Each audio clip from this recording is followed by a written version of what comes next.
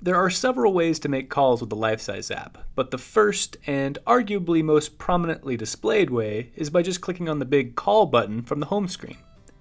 Here you'll be able to filter through your directory contacts, and as you type you'll see the list of contacts narrowed down to the best matches.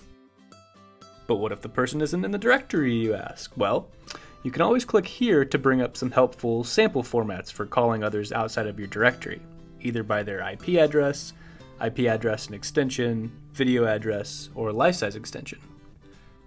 Okay, so once you've selected your contact, you'll get the option to either start a call with your camera on or start a call with your camera off. And you can always do a pre-call camera and audio check to make sure that your camera is selected, you've got the right microphone, and make sure you're looking good before the call. Go ahead and remember these settings and start the call with my camera on. Alright, back to the home screen. So I mentioned there were several ways to make calls, and throughout the app, anytime you see a contact, you'll have the opportunity to make a call by just hovering over the name and clicking on the icon to call with your camera on, with your camera off, or to just send a chat. And that goes for the recent activity, your favorites, up here in the global search, as well as in your contacts directories. Easy, right? So what about receiving calls? Well, that's easy too. Just click answer whenever a call comes in.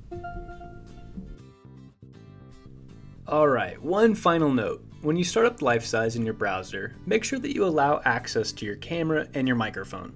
It makes making and receiving calls kinda difficult if the app can't access those settings. That covers the basics of making and receiving calls on Lifesize. Now go try it out. And if you're looking for more user tutorials, check for a link in the description where we'll cover everything from scheduling calls for later to setting up and using in-call moderator controls. Anyway, see you guys in the next one.